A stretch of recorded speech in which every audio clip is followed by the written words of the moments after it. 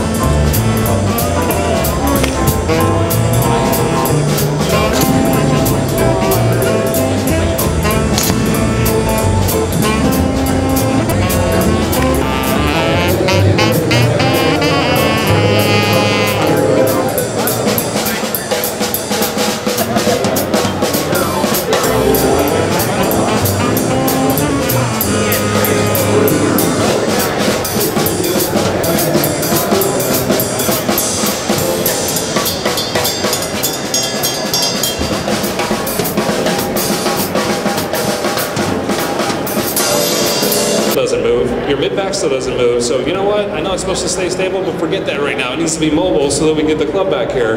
And all of a sudden your back hurts again.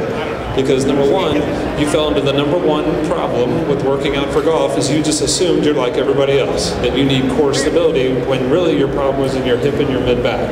Now what's the point of me starting with this? Is this simple your workout program needs to be different than your workout program, which needs to be different than your workout program, which needs to be different than your workout program. In other words, you need to figure out what the heck is wrong with you before you just jump in a gym, unless you just want to do everything.